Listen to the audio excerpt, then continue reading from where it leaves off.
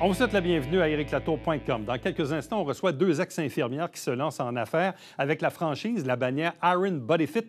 On parle de traitement d'électrostimulation.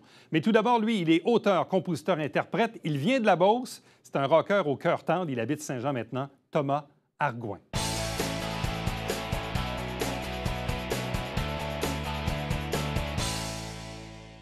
Quand j'ai euh, décidé d'inviter la personne que je vais vous présenter dans quelques secondes, je me disais, qu'est-ce que je vais écrire en dessous? On, dirait, on, on- on le présentait un peu comme le, le beauceron euh, au cœur tendre. Là, j'ai dit, ouais, mais il habite à Saint-Jean-sur-Richelieu maintenant. J'ai dit, je vais marquer le beauceron devenu joannais. Thomas Argouin est avec nous. Bonjour et bienvenue. Bonjour. C'est un bon titre. C'est quand même pas mal. Bon, explique-nous un peu ton parcours. Tu es auteur, compositeur, interprète. Oui. Tu viens de la Beauce, tu habites à Saint-Jean depuis 2-3 ans maintenant. Vidons la question tout de suite. Pourquoi tu viens à Saint-Jean? Pourquoi tu habites à Saint-Jean aujourd'hui? L'amour. Hein? Ça fait faire bien du ménage, L'amour. Qu'est-ce que ça fait, hein? Ça fait, ça fait, dé- ça fait déménager, en tout cas. Mais est-ce que tu connaissais la région? Tu connaissais le coin? Je suis venu ici, il y a 10 ans à peu près, avec la, la rue des Bars. Oui. Je me rappelle avec mon ancien band, avec mon ancien drummer, on venait ici, puis il disait C'est bien cool ici. Puis c'est bizarre parce que là, 10 ans, j'ai dit On dirait que je vais vivre ici, moi, un moment donné. C'est drôle. hein? Parce que je portais des CV avec mon band, puis ça commençait dans ce temps-là. Puis euh, non, c'est- j'avais le feeling que je venais ici, mais c'est drôle, hein, la vie, c'est c'est de même. Finalement, tu as rencontré une, une Ouais, gentille ouais, dame qui ouais. t'a amené euh, vers vie, je l'ai rencontrée, puis je suis rendu ici. Bon, explique-nous un peu ton parcours. Donc, tu, tu viens de la Beauce, principalement. Et à quel moment es-tu tombé dans la, dans la musique et... euh, Moi, j'ai commencé à 12 ans dans les bars. 12-13 ans dans les bars. euh, j'ai commencé à faire des festivals. J'ai commencé à faire la tournée. Ça a commencé raide, là. euh, la vie de rock and roll. Je l'ai vécu, là. Ça fait des années que je suis plus dans cette rock and roll-là. Je vis la vie du rock maintenant sur une scène et seulement sur une scène. Puis, euh, mais tout ce que vous pouvez imaginer euh, à la Motley Crue, je l'ai vécu jeune, tu sais. Puis, euh, puis ça, ça m'a apporté de, une- une- ça m'a apporté quand même de, de connaître énormément de gens dans le domaine de la musique. Tu sais, de- du sport de la pointe, j'ai travaillé avec énormément de monde, déjà quand j'étais très jeune. Puis j'avais déjà, comme à 17 ans, j'avais déjà peut-être 500 spectacles à mon actif. Fait que, Wow. tu sais, j'ai commencé vraiment jeune, puis j'ai fait beaucoup, beaucoup de choses jeune. Puis euh, ensuite de ça, je suis... Il y a eu la tragédie du lac Mégantic. Oui. Et puis j'ai fait... euh, ça a donné comme ça. J'ai pas, on n'a pas écrit la chanson pour ça. Ça a donné qu'ils ont pris la chanson euh, vraiment pour euh, la tragédie. C'est la chanson à ceux qui restent. Puis j'allais chanter à Capella dans l'église là-bas devant la- les familles des 47 victimes. Puis il y avait aïe. tous les postes de télévision inimaginables qui étaient là. Fait que ça, ça a fait tabarnouche, ça a vraiment parti quelque chose. Ce, qui est, c'est ce que j'ai trouvé très difficile. Ça a été vraiment difficile de voir qu'une chanson que j'avais chantée, ça me donnait un- un- une exposition Ouais, non désirée. Mais en même temps, ça, ça a été très, très difficile dans ma carrière. Puis ça, ça m'a changé de A à Z, je dirais. Ah ouais? Ça t'a bousculé à ce Ah, point-là? ça m'a. euh, J'imagine pas ce que c'est de perdre quelqu'un dans une tragédie comme ça, mais de. de- de- Ouais. Tu te sentais un peu comme Ouf. coupable. J'étais très jeune, là. Ouais. J'avais ma petite chemise blanche, là, puis j'avais l'air d'un ange sur un stand à Capella. Ça, ça, ça, ça, ça a tourmenté bien les affaires. Mais ça, ça a fait que je me suis éloigné de la musique un peu. Ah oui? Ouais, ça a vraiment chamboulé des affaires, ça. Mais, Mais, après. mais en il- même temps, bon, parce qu'on on se rappelle de l'ampleur du, euh, de cette tragédie, puis là, il y a même d'ailleurs une télésérie que je viens de terminer qui est vraiment, qui est franchement excellente, et notamment c'est la fameuse scène où on est dans l'église euh, Mhm. et où le curé ne sait pas trop quoi dire finalement. Ouais. C'est- vraiment intéressant, euh, poignant comme, comme scène. Mais en même temps, euh, c- c- c- c- comment je dirais, ce- cet événement-là, où le fait que tu aies eu à chanter cette chanson-là avec... est-ce qu'on peut dire que c'était une rampe de lancement? Est-ce que ça a Non, contribué pas- à te faire connaître? Ben ou, euh, oui, puis non, parce que c'était pas vraiment l'enjeu. C'était vraiment pas le but, là, je vraiment- comprends, c'est- ça, mais en fait, Mais de manière indirecte, disons. Ben, de pour les indirecte, médias, pour Ouais. les médias de, de masse comme TVA et tout ça, c'est peut-être la première fois qu'ils m'ont vraiment remarqué. Mais ensuite de ça, il y a eu la voix. J'ai fait la voix jusqu'à. J'ai fait trois, quatre chansons à la voix. J'étais dans l'équipe à la pointe. Ça aussi, c'est le deuxième comme. Qui, est- qui est beaucoup plus. euh, Ben, la télé va toujours donner des rampes de lancement Ouais. assez immédiates. Bon, ah ouais. Les funérailles dont tu fais référence, euh, participation à la voix où tu as Mm. fait un, un petit bout de chemin là. C'est sûr que la télé, ça amène une visibilité, disons, assez, assez rapide et instantanée. En tout cas, c'est une rampe de lancement qu'il faut clair. profiter là, quand ça Ouais, passe. là. Mais, mais qu'est-ce qui reste de ça aujourd'hui? Parce que tu as fait la voix en quelle année? 2016. 2016. Mais ce qui reste de ça, c'est qu'il y a des fans qui sont encore là depuis ce temps-là. Puis je te dirais que qu'est-ce que j'ai fait de 100 fois plus miraculeux et, et vrai et intense dans ma carrière qu'un boom médiatique comme La Voix, c'est de faire ce que je suis en train de faire présentement, de faire exploser ma carrière avec des chansons que j'ai écrites moi-même, puis des fans qui viennent remplir mes salles de spectacle sans que j'aille besoin d'un boom qui vient d'ailleurs. Puis ça, ça a parti avec TikTok. Hein? C'est comme tu pars de zéro là-dessus. Moi, j'étais en Beauce, je faisais des TikTok, puis je, je venais juste de sortir de ma chaise roulante. Puis j'étais en pleine transition vers euh, de santé, vers je recommence vers la musique.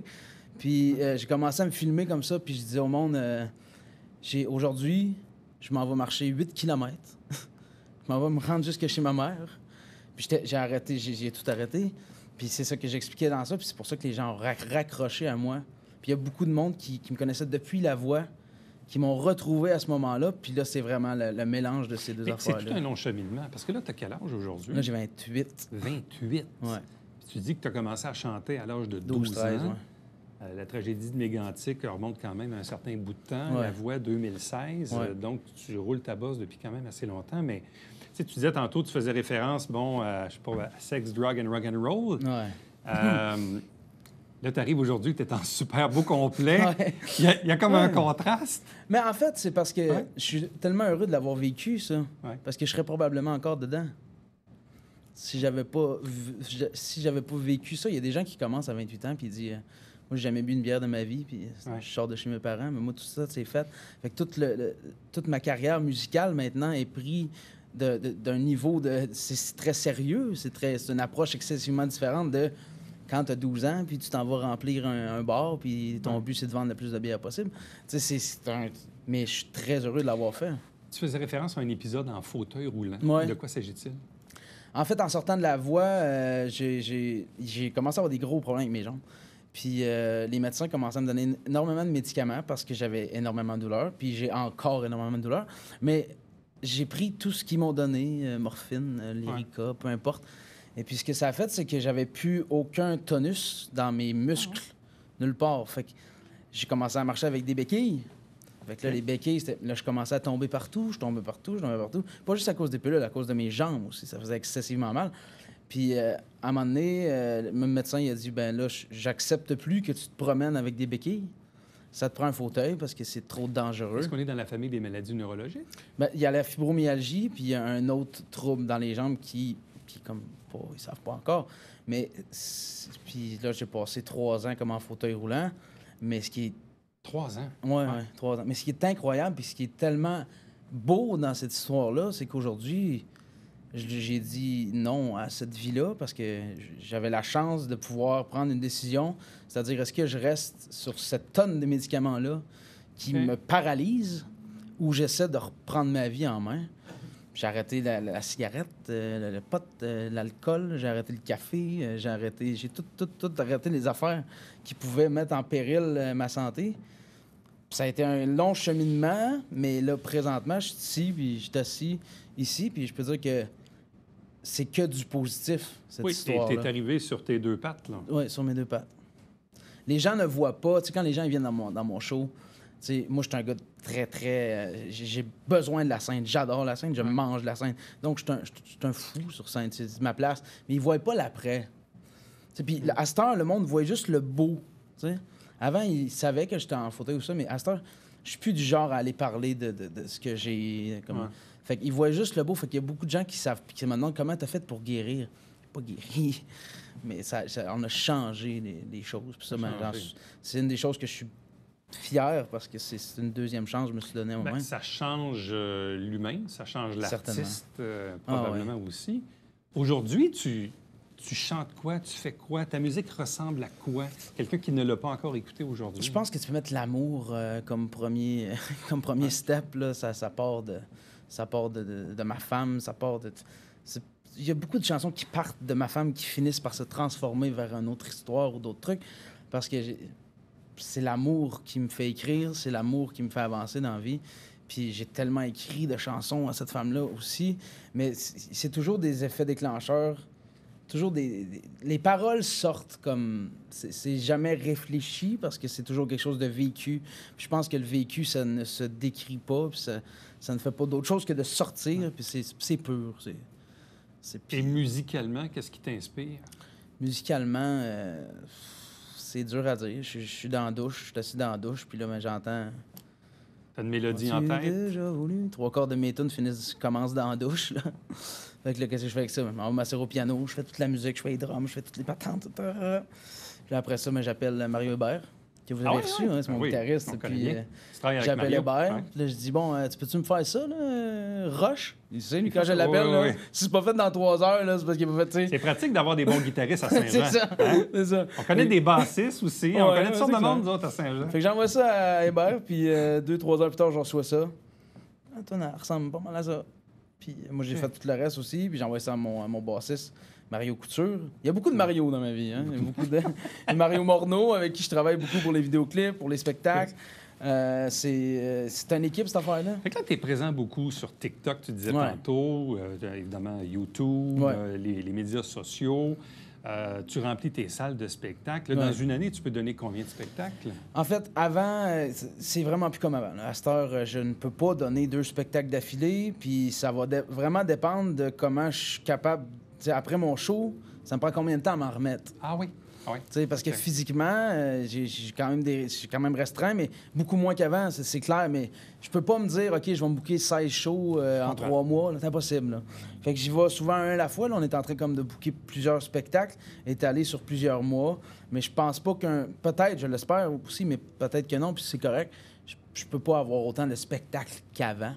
Mais au moins, à cette heure, euh, les conditions de travail, c'est plus la même chose. là. Mais là, tu as fait un show il n'y a pas longtemps ici au Saint-Jean, cabaret, au Cabaret Théâtre, euh, du Vieux-Saint-Jean. Ça, ça a bien été. C'était plein, c'était le fun au bout. Tout le monde est As-tu des prochaines dates à venir? As-tu Euh, des là, j'ai? Gatineau. Gatineau, le 25 août, à la salle Jean-Després. Ensuite de ça, euh, c'est sûr qu'on va revenir ici aussi. Il y a d'autres dates qui s'en viennent que je peux pas dire pour l'instant. Mais on va retourner à la Valtrie aussi le 3 février. Mais il y a bien des dates qu'il va y avoir entre ça. Mais pour l'instant, on est comme dans la semaine de... On sait pas. on attend, puis c'est un peu compliqué. Mais c'est sûr que ça va être Montréal, Québec. Euh, ça va être euh, tout ce qu'il y a au Sherbrooke. Je suis en train de tout... Donc, c'est à suivre. Donc, Ouais. toujours un peu aussi euh, sous l'égide de, de ce deuxième album Ouais. qui Ben, sort. En fait, c'est ça. Fait que là, j'ai fait, j'ai fait beaucoup de pré-production, comme on dit. Parce que quand, quand commencer jeune dans la musique, comme moi j'ai Ouais. fait, t'as pas d'équipe à la base. Ouais. J'ai tellement enregistré de chansons, j'ai tellement composé dans ma vie. Mais là, c'est beaucoup plus. euh, c'est Ouais. beaucoup plus la, la- la vérité de ce que mon art devrait être. Là. On est rendu à un- une autre étape. C'est le fun de rester à Saint-Jean?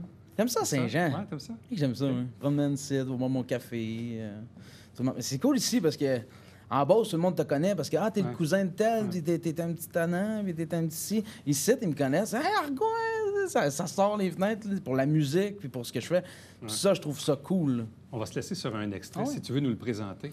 Ouais, c'est la dernière chanson que j'ai sortie, euh, Si tu pars, je reste. Puis c'est moi qui fais mon- mes clips aussi. Fait que c'est moi qui ai fait la production de, de ça aussi. On regarde ça à l'instant. Bonne chance. Merci beaucoup. Merci beaucoup. Je t'aime, je t'ai cherché dans la nuit. On s'est retrouvés juste ici, là où le soleil se réveille, là où l'amour est éternel. C'est beau dans tes yeux, je nous vois déjà tous les deux. On attend le départ pour sortir du noir.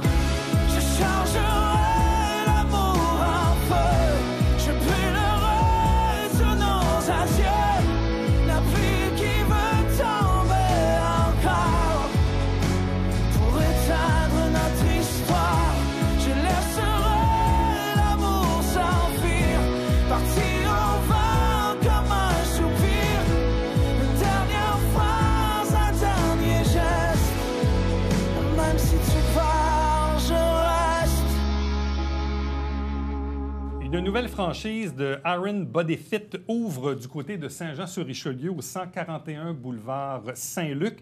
C'est deux infirmières de la région ou ex-infirmières qui sont à la tête de cette organisation-là. On les reçoit à l'instant. D'abord, Cynthia Saint-Laurent, bonjour. Bonjour, enchantée. Accompagnée de Marie-Hélène Guy, bonjour et bienvenue. Enchantée. Comment c'est arrivé ce projet-là? Ben, j'ai fait un essai. Euh, moi, moi, je suis mère monoparentale, puis euh, j'étais infirmière, comme vous l'avez Ouais. dit. Puis euh, je- voulais perdre ma cellulite comme toutes les femmes. Puis j'ai trouvé Aaron Bodyfit qui était un bon concept euh, pour moi, qui était 25 minutes de renforcement musculaire. qui équivalait à quatre heures de salle de gym. Ça veut dire que vous l'avez trouvé par vous-même Oui, en faisant des net. recherches. Donc, vous aviez un besoin. Oui, exactement. Vous êtes tombé là-dessus. Sur la franchise, euh, j'ai essayé les studios. Puis, je suis tombée en amour avec la formule. Euh, le studio qui était le plus proche de ch- chez moi se trouvait quand même à 45 minutes. Je trouvais ça loin. Donc, Marie-Hélène est allée l'essayer, puis elle me dit Pourquoi on ne se part pas une franchise Donc, c'est elle qui a eu l'idée de partir ça. Oui, exactement. C'est elle qui l'a trouvé, mais moi, ça fait longtemps que je voulais être euh, mon boss. Pourquoi? Parce qu'on a travaillé longtemps dans le réseau, puis parce que un niveau, j'étais rendu à, on était rendu à un point de notre carrière où on avait envie de travailler pour nous-mêmes, puis euh, d'avoir plus de flexibilité. Puis donner un service Puis- à la population. Oui, c'est ça, de- d'offrir ce service-là à la population de renforcement musculaire. C'est comme un peu être dans le préventif. Bien, c'est intéressant d'avoir votre exemple parce que parfois dans l'actualité, on entend dire que- qu'il y a des infirmières qui quittent le métier. Oui. Comme on entend dire qu'il y a des professeurs qui quittent les écoles. tu sais. Bon. Là, on a visiblement euh, deux exemples devant nous. Euh, je comprends que vous avez fait carrière quand même pendant quelques années dans le réseau, Oui, mais 10 ans. 10 ans et vous, De 2007 à, À- de- à pas 2022. quand même. Mhm. Et qu'est-ce qui fait qu'on décide de faire un, un 180 comme ça? Pour ma part, c'est l'épuisement. OK. Euh, c'est pas le, c'est la charge, c'est pas nécessairement la charge de travail, c'est vraiment tout ce qui est en arrière de ça. Euh, le, tout ce qui est administratif, euh, ça me convenait plus.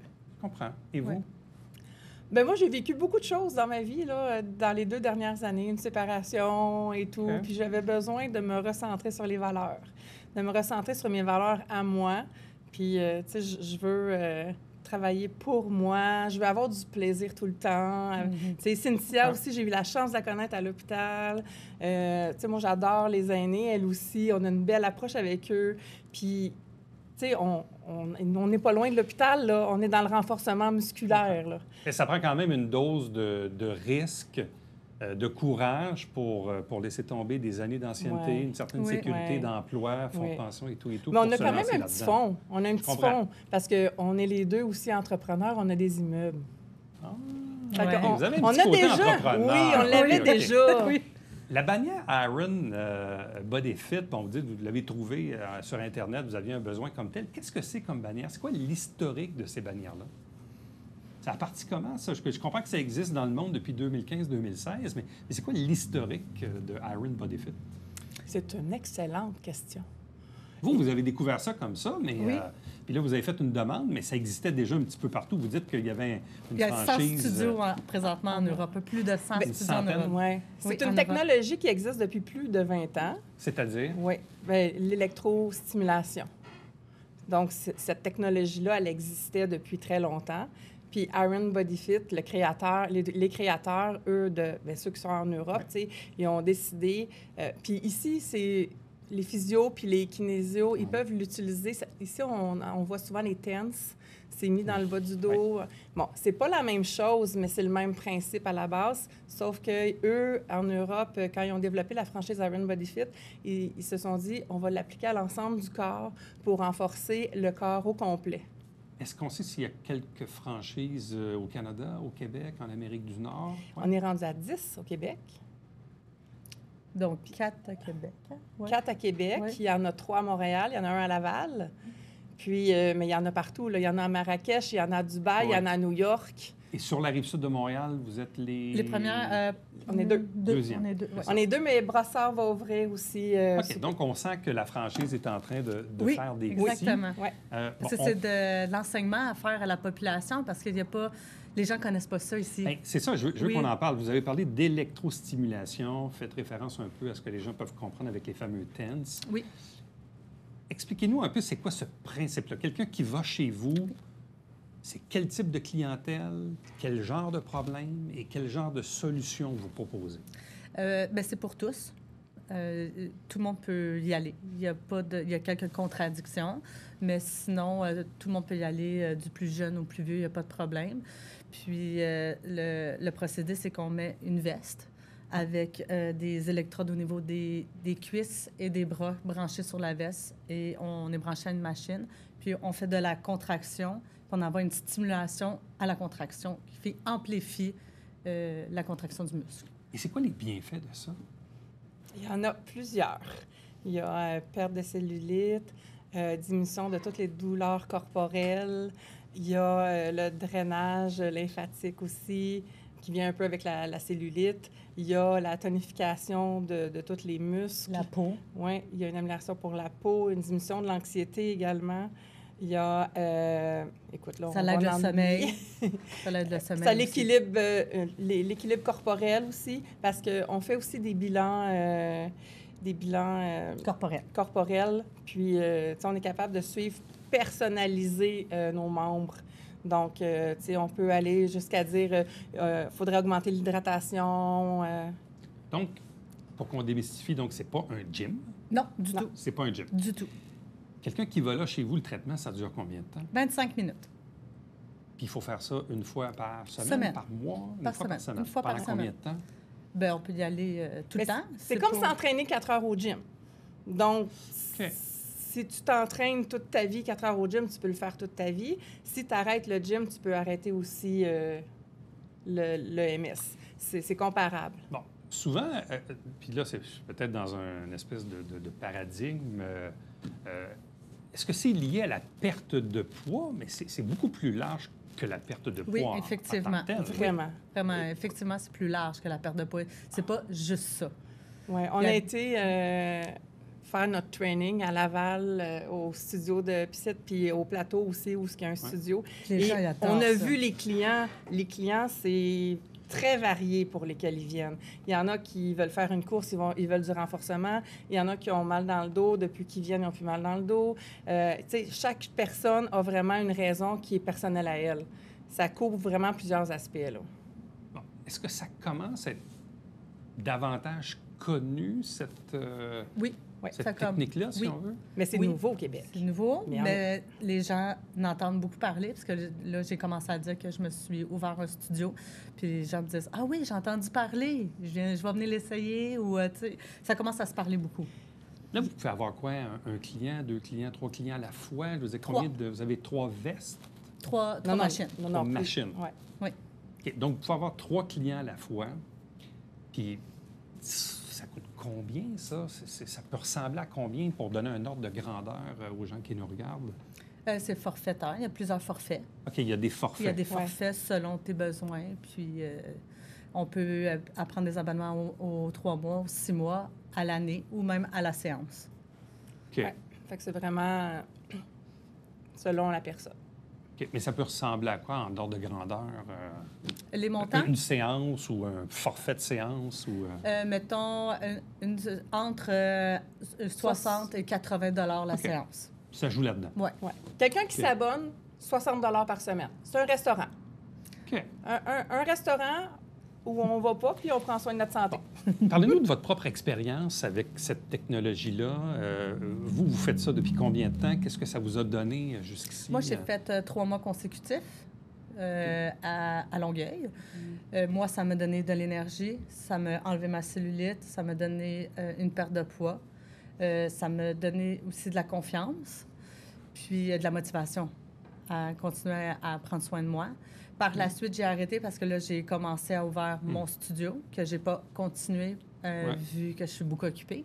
Mais euh, là, j'ai recommencé les séances dans mon propre studio. Là, euh, je, je recommence ça. Là. Bon, et vous, vous expérimentez ça depuis combien de temps? Moi, je l'ai essayé une fois. Moi, j'avais des grandes douleurs dorsales et juste avec l'essai, j'ai pas eu mal dans le dos pendant plus qu'un mois. Fait que j'étais déjà vendue au projet, mais moi, j'habite à une heure et quart de Longueuil. Fait que, tu sais, c'était pas possible pour moi de faire euh, ça dans, dans mon parcours de semaine. Puis c'est pour ça qu'on s'est dit, mais on va l'offrir à Saint-Jean-sur-Richelieu parce qu'on va être nos premières membres. Ouais. Même, Ouais, on est nos premières membres, on est nos premières euh, personnes qu'on qu'on y croit, là. Est-ce que c'est douloureux? Du tout. Non? Du tout.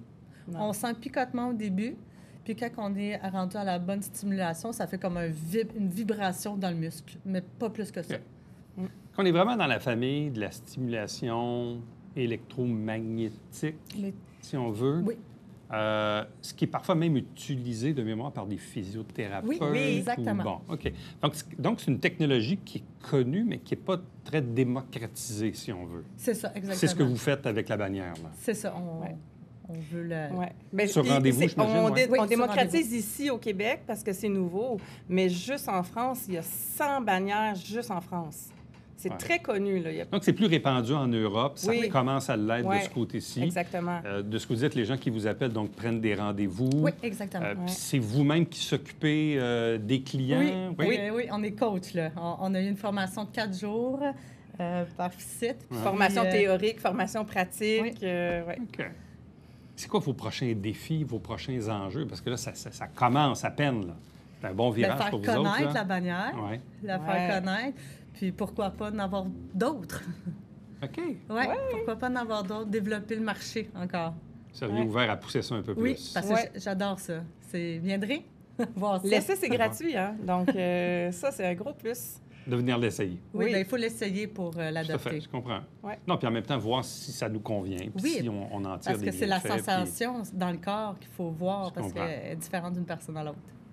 Donc, Iron Body Fit, nouvelle franchise maintenant ici à Saint-Jean-sur-Richelieu, 141 boulevard euh, Saint-Luc, Oui. à Saint-Jean-sur-Richelieu. Donc, on va vous souhaiter la, la meilleure des chances, Merci. euh, puis de, de- de- de- dans votre quête de faire connaître la bannière, mais en même temps, ce- cette nouvelle technologie là, qui est maintenant disponible au grand public. Merci beaucoup. Merci à Ben, vous. merci beaucoup. Merci. Restez avec nous. On vous revient après ceci.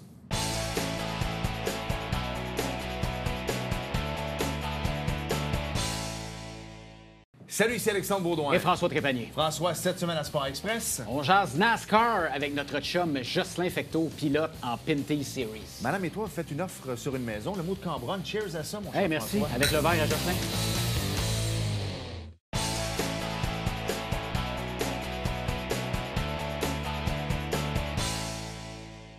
C'est déjà le moment de planifier votre été, les vacances, les loisirs, les activités. Quoi faire en Montérégie? Tourisme Montérégie lance différents outils qu'on peut retrouver notamment sur le web. Il y a aussi euh, certains dépliants. Bref, on vous invite à vous procurer toutes ces informations pour planifier votre été.